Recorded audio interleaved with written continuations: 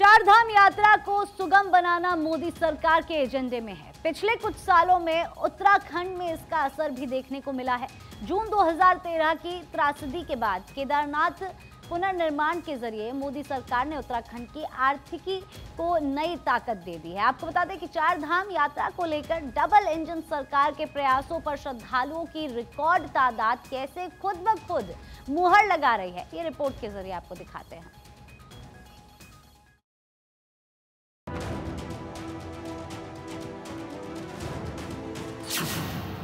PM Modi का vision जानदार, नतीजे शानदार।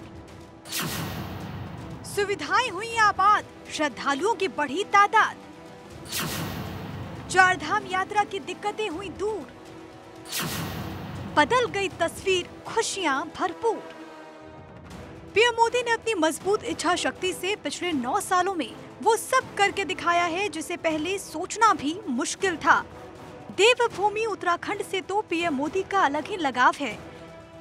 चार धाम यात्रा उनके मुख्य एजेंडे में थी, जिसका नतीजा है कि आज उत्तराखंड में कभी बहुत कठिनाइयों से पूरी होने वाली यात्रा बड़ी सुगमता के साथ पूरी की जा रही है।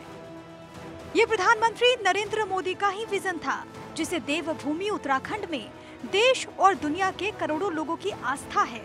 वहाँ रेल, रोड और हवाई सुविधाओं का इस तरह विस्तार किया जाए कि अपने ईष्ट देवों का दर्शन करने आने वालों को किसी तरह की दिक्कतों का सामना ना करना पड़े। इसलिए एक के बाद एक वो सारे काम करवाए गए, जिन्होंने देवभूमि में यात्रा की पूरी तस्वीर बदल दी। आइए आपको बताते हैं कि क्या क्या हुआ है। बारह हज़ार करोड़ से अधिक की ऑल वेदर रोड का निर्माण कार्य शुरू कराया।